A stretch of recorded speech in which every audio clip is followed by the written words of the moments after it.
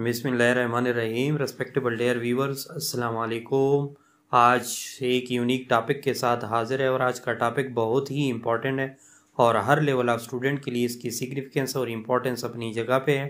तो जिसने भी हमारे चैनल को सब्सक्राइब नहीं किया, वो सब्सक्राइब कर ले। जो सब्सक्राइबर है वो बेल आइकन को लाजमी दबाए ताकि हर नई वीडियो की नोटिफिकेशन सबसे पहले आपको मिल सके। और जो सब्सक्राइबर है, वो वीडियो को ज़्यादा से ज़्यादा लाइक और शेयर किया करें ताकि बहुत सारे लोग उससे मुस्तफ़ हो सके। अब आज के टॉपिक की जानब जाते हैं। आज का topic basically morpheme and its type है, यानी morphology plus morpheme and its types है। उसकी डेफिनीशन भी आप लोग के सामने रखेंगे। उसके टाइप्स में फ्री मार्फिन और फ्री मार्फिन के फिर अलहदा टाइप्स आप लोग के सामने लेग्जिकल और डेरिवेशनल मार्फिन रखेंगे, फिर बाउंड मार्फिन और ये फिर उसके अंदर यानी रूट मार्फिन और इसी तरह अफेक्सेस मार्फिन और अफेक्सेस के अंदर फिर फोर मजीद टाइप्स भी आप लोग के सामने रखेंगे। तो बड़े कंसेप्चुअल अप्रोच से मैंने उसको विद एग्जांपल आप लोग के सामने प्रिपेयर किया है। तो आप लोग स्टे कनेक्टेड है। ए टू जी लेक्चर को वॉच करें। इन शजीज़ आपके परसेप्शन में इजाफा होगा। तो शुरुआत की जाने जाते हैं। डेफिनीशन ऑफ़ मार्फालोजी या डेफिनीशन ऑफ़ मार्फिन यानी मार्फिन क्या है? मार्फिन समझने से पहले, सबसे पहले मार्फालोजी समझ ले। मार्फालोजी पे हमारा एक लेक्चर ऑलरेडी अपलोडेड है। आप लोग उसे भी देख सकते हैं और मैं डिस्क्रिप्शन बॉक्स में उसका जो है, यानी लिंक भी दे दूँगा कि उसको डिटेल से देख लेंगे। लेकिन उसकी तारीफ़ आप लोग सुनने कि व्हाट इज़ मार्फालोजी या definition of morphology the study of internal structure of language और मॉर्फीम इज़ कॉल्ड मार्फालोजी यानी मार्फालोजी दरअसल स्टडी ऑफ़ मार्फीम होती है और मार्फीम जो है, यानी किस लिए इस्तेमाल होता है ताकि किसी लैंग्वेज का इंटरनल स्ट्रक्चर जो है मालूम किया जाए। यानी मार्फ मार्फालोजी। यानी मार्फ मीन्स शेप और ology means study in study of shape यानी शेप से मुराद the study of internal structure of language और मॉर्फिन इज़ कॉल्ड मार्फालोजी ये तो मार्फालोजी थी। अब डेफिनीशन आप मार्फिन को मुख्तलिफ़ एंगल से आप लोग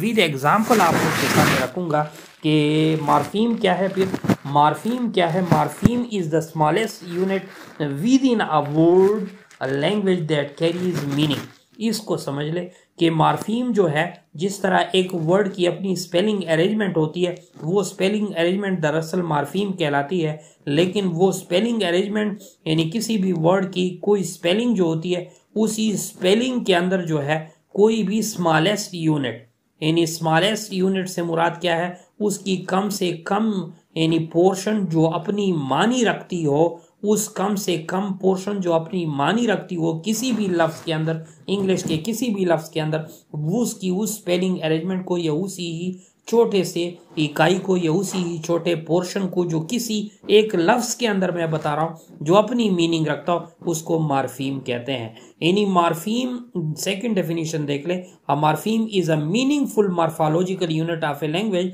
that can not be further that can not be further divided यानी किसी भी लफ्ज़ को जब आप लोग देख लेते हैं और उस लफ्ज़ के अंदर एक छोटा सा, वो हिस्सा जिसके अंदर मीनिंग मौजूद हो और जिसे फार्दर डिवाइड न किया जा सके, वो मार्फीम कहलाता है। Any smallest unit of meaning या spelling arrangement in any word is called morpheme. यानी इसकी मिसाल आप लोग के सामने है अनहैप्पी अनहैप्पी के वर्ड को देख ले यानी ये कितने मार्फीम पे मुश्तमिल है? ये टू मार्फीम्स पे मुश्तमिल है।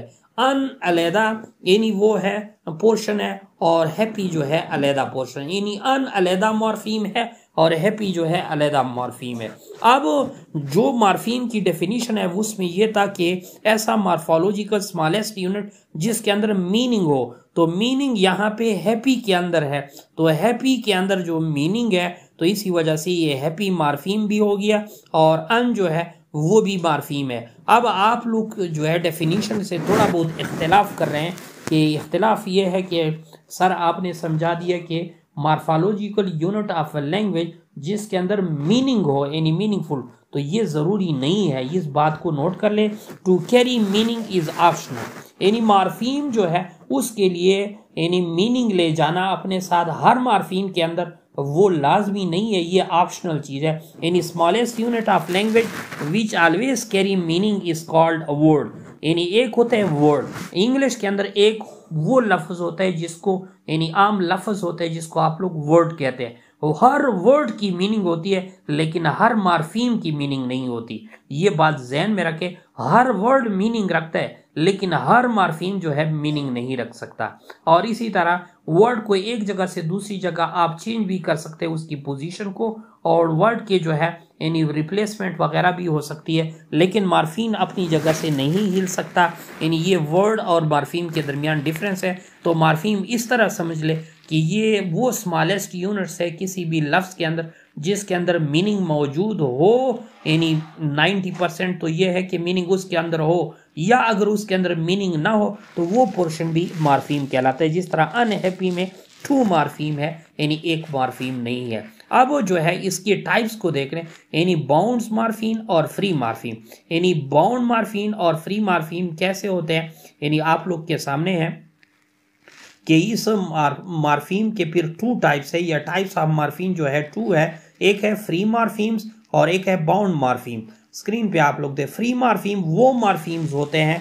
These can stand alone as word and carry meaning by themselves यानी फ्री मार्फिम वो होते हैं जिसके अंदर अपनी मीनिंग वो ले जाते हैं बजाते खुद। और ख़ुद अपने पाँव पे खड़े हो सकते हैं। यानी ख़ुद अपने लफ्ज़ के तौर पर उसकी, यानी आइडेंटिटी होती है, शिनाख्त होती है तो उसको फ्री मार्फीम कहते हैं। फॉर एग्ज़ाम्पल जो ऊपर मैंने अनहैप्पी की मिसाल आप लोग को दे दी तो इसमें जो हैप्पी है, ये अपनी वजूद खुद कायम रख सकता है और उसके अंदर मीनिंग मौजूद है। तो ये उसकी फ्री मार्फीम है। इसके लिए अन ज़रूरी नहीं है।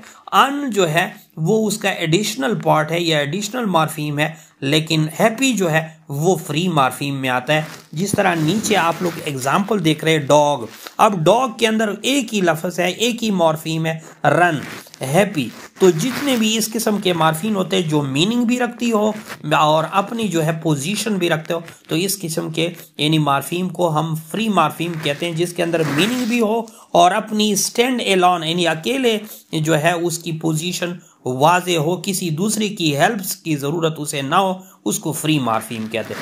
फ्री मार्फीम्स की फिर अलहदा सब टू टाइप्स है, यानी are further divided into two types number one is lexical morpheme या जिसको कॉन्टेंट वर्ड्स भी कहते हैं, और नंबर दो इज़ फ़ंक्शन फ़ंक्शन वर्ड्स या फंक्शनल मार्फीम यानी दो किस्म के हैं। अब लेग्जिकल मार्फीम कौन से होते हैं? ये आप लोग के सामने रखता हूँ कि लेग्जिकल मार्फीम या कंटेंट वर्ड्स कौन से होते हैं? These carry lexical meaning main content and can stand alone as words dog run and happy यानी लेग्जिकल किस चीज़ को कहते हैं? लुगवी को कहते हैं। लुगवी मीनिंग जो लफ्ज रखता हो और अकेला जो है कड़ा हो सकता हो, किसी दूसरे को कड़े रखने के लिए उसकी ज़रूरत ना हो। ऐसे लफ्ज़ को हम यानी किस क्या कहते हैं? यानी लेग्जिकल मार्फीम कहते हैं। फ्री मार्फीम में ये लेग्जिकल मार्फीम होता है। जिसके अंदर मेन कॉन्टेक्ट हो मेन मीनिंग हो, और वो मीनिंग भी लेग्जिकल मीनिंग हो, और can stand alone as words और एक लफ्ज़ के तौर पर एक कड़ा हो सकता हो, उसको हम लेग्जिकल मॉर्फीम कहते हैं। इसी तरह नंबर टू जो है फंक्शनल या फ़ंक्शन वर्ड्स मार्फीम उसमें फंक्शनल मार्फीम क्या होता है? यानी दीज सर्व ग्रामेटिकल पर्पजेज इसका मकसद ग्रामर के लिहाज से, उसका मकासद होता है ग्रामर के लिहाज से किसी लफ्ज़ के साथ जब कोई एडिशनल हिस्सा जुड़ा रहता है तो वो उसकी ग्रामेटिकल मकासद के लिए जुड़ा रहता है and often connects phrases or words और ये मुख्तलिफ़ फ्रेजेस या वर्ड्स को जो है, यानी यकजा रखता है। फॉर एग्ज़ाम्पल आप लोगों ने पार्ट्स ऑफ़ स्पीच में कंजंक्शन पढ़े हैं, जिसमें एंड बट और यहाँ पे आर्टिकल भी उसके के अंदर शामिल है।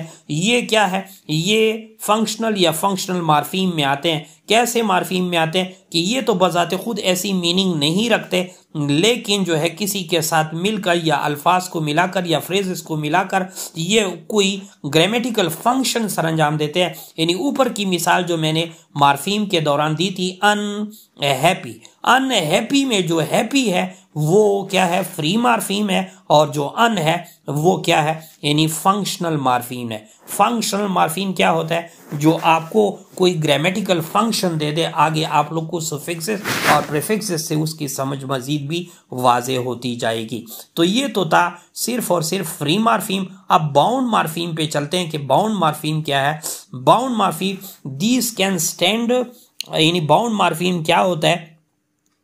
आप लोग के सामने रखता हूँ कि these can not stand alone bound morpheme वो होता है जो अकेला वर्ड के तौर पर, यानी कड़ा नहीं रख सकता must be attach to the free morphemes to convey meaning और वो से ज़रूरी होता है कि अपनी मीनिंग कन्वे करने के लिए किसी फ्री मार्फिम्स के साथ वो अटैच होगा, तब जाके वो आगे वो, यानी मीनिंग कन्वे करेगा. यानी ऊपर की मिसाल में मैंने अनहैप्पी दिया था तो अनहैप्पी को आप लोग हैप्पी जो था, वो फ्री मार्फिम था, और अन जो है, ये उसका, यानी फंक्शनल बाउंड मार्फीम या इसको बाउंड मार्फीम भी कहते हैं। क्योंकि अन का इस तरह मतलब आपको, यानी लेक्सिकल मीनिंग उसकी नहीं निकल सकती, लेकिन जब वो उसके साथ हैप्पी के साथ मिल जाता है तो ये आगे फिर बाउंड मार्फिन यानी एक मार्फिन बना लेता है, जिसको हम बाउंड मार्फिन कहते हैं। तो ये बाउंड मार्फिन यानी ये समझ ले कि वो अलहदा वर्ड के तौर पर कायम नहीं रख सकता, और उसे किसी दूसरे फ्री मार्फिम के साथ मिलना पड़ता है।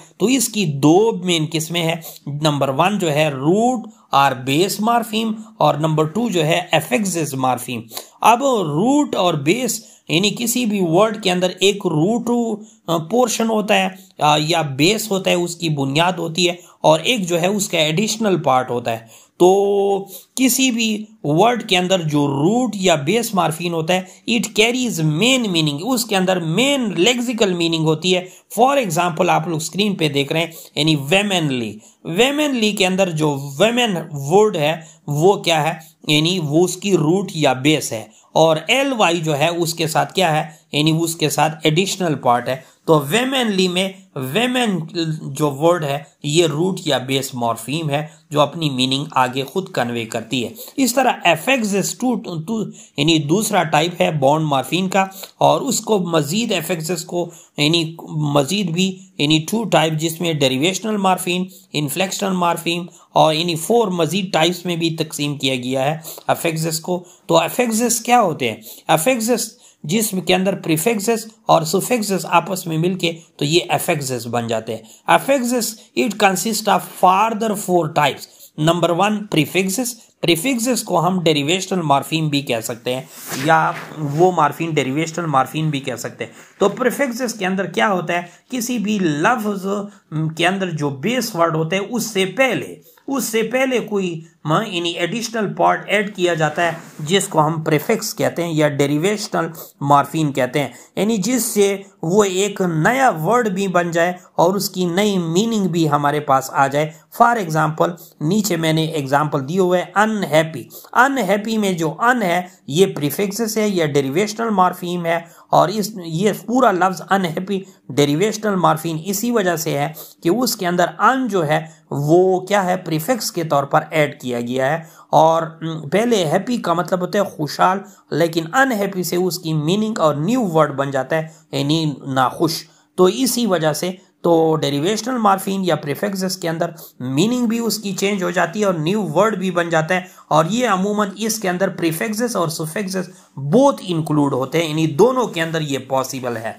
इसी तरह suffixes oblique inflection morpheme suffixes या इन्फ्लेक्शन मार्फिन क्या होता है? यानी ये किसी भी बेस वर्ड के बाद में लग जाता है और ये अमूमन तकरीबन एट इन नंबर होते हैं। फॉर एग्जांपल एस किसी के साथ बाद में लगा के या ई एस या ई डी या किसी के पीछे एन लगा के या आई एन जी या एल वाई तो ये एट इन नंबर होते हैं। और it it is only existed in suffixes ये इन्फ्लेक्शन मार्फिन जो है सिर्फ़ सोफेक्सिस के अंदर होते हैं। और उसके फॉर एग्जांपल नीचे रनिंग में आई आई एन जी जो है, वो क्या है? इन्फ्लेक्शनल मार्फिम है। और इसी तरह जो ई डी है इनवॉग्ड वो क्या है? इनी सोफेक्सिस या इन्फ्लेक्शन मार्फिन है। इसी तरह थर्ड नंबर पे है इनफिक्सिस इनफिक्सिस वो होते हैं जो किसी भी दो लफ्ज़ों के अंदर या किसी भी वर्ड के अंदर किसी पूरे वर्ड को इंसर्ट किया जाता है, डाला जाता है ताकि न्यू मीनिंग बना ले। फॉर एग्ज़ाम्पल नीचे फेन फ्रीजन टेस्टिक ये फेन फ्रीजन टेस्टिक से मुराद, यानी जब हम किसी चीज़ के बारे में ये एडजेक्टिव के तौर पे इस्तेमाल होते हैं, जिस तरह कोई फैंटास्टिक या ग्रेट होता है, इसको इनफिक्स कहते हैं। जब भी किसी एक लफ्ज़ के अंदर किसी ऐसे वर्ड को इंसर्ट किया जाता है, जिससे उसकी मीनिंग तब्दील हो जाए, और इसी तरह जब किसी भी एक वर्ड के अंदर दोनों ही, यानी सुफेक्सिस और प्रीफेक्सिस मिल जाए तो उसको सरकमफेक्स मॉर्फीम कहते हैं। A combination of both prefix and suffix added around the base word और रूट वर्ड इस कार्ड जो है सरकमफिक्सिस मॉर्फीम यानी फॉर एग्जांपल इन लाइटन अब लाइट जो है बेसिकली बेस वर्ड है और ई एन जो है, उसके साथ पीछे यानी वो यानी और वो आगे वाली ई एन और पीछे वाली ई एन सुफिक्सिस और प्रीफिक्सिस के तौर पे इस्तेमाल हो चुकी है, जिसकी वजह से ये सरकमफिक्सिस मॉर्फीम है। ठीक है जी। इसके बाद जो है, यानी ये सारी चीज़ें मैंने आप लोग के सामने रखी। नीचे जो है, प्रोफेसर सैयद इशफाक अहमद शाह है ब्राइट इंग्लिश लर्निंग ऐप है। आप लोग हमारे चैनल को सब्सक्राइब भी कर सकते हैं और हमारे फेसबुक पेज को लाइक एंड फॉलो भी कर सकते हैं। Thanks for watching